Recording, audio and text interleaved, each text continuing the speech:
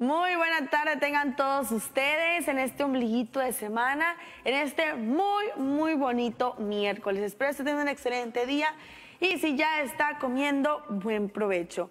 Mientras yo le platico sobre el sistema frontal número 7 que ya tenemos en el norte del país. No tardó mucho, no tardó mucho en regresar estos sistemas frontales.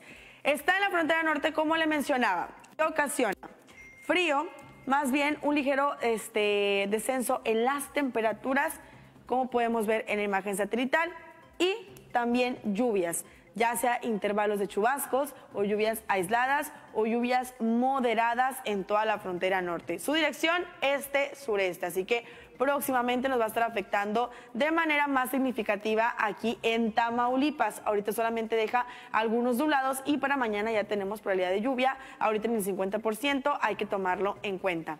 Canales de baja presión que también tenemos en el interior de la República esta ocasión lo mismo, lluvia. Y también se me pasaba a comentarle que tenemos vientos superiores a 60 kilómetros por hora en la frontera norte y también en el sur del territorio nacional, porque tenemos otro canal de baja presión en dicha región que está provocando lo mismo, lluvias aquí con celdas de tormenta.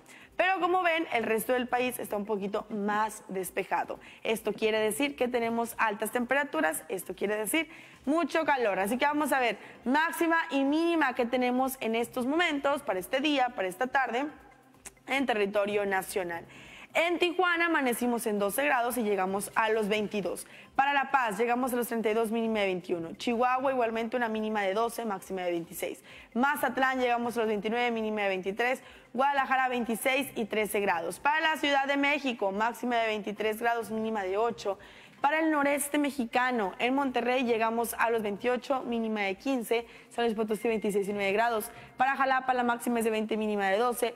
Puebla llegamos a los 22, mínima de 9 grados. En la Ciudad de México amanecimos en 8, llegamos a los 23. Oaxaca 9, 26. Para Campeche llegamos a los 30, mínima de 21 solamente.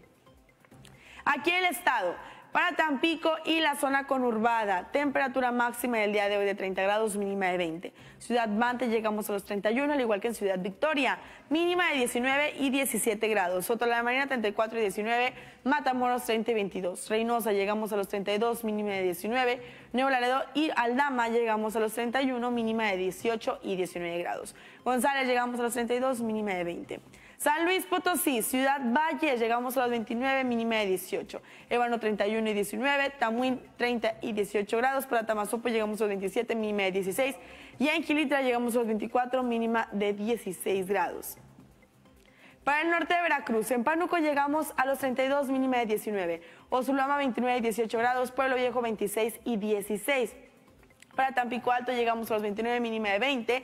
Mismas condiciones para Tempual, la mínima solo varía a 18 grados. Próximos días, esta semana, como les mencionaba, vamos a tener ligera actividad de lluvia. Es el pronóstico que tenemos hasta el día de hoy. Para mañana tenemos el 50% hasta ahorita, máxima de 27, mínima de 18. Para el viernes continuamos con un cielo parcialmente nublado, máxima de 26, mínima de 20. Al sábado, el sábado, perdón, llegamos a los 27, mínima de 21 grados. Humedad en estos momentos 51%, presión barométrica 1013 milibares, viento de componente este hacia sureste puede alcanzar rachas de 13 kilómetros por hora y el punto de rocío lo esperamos encontrar en los 18 grados.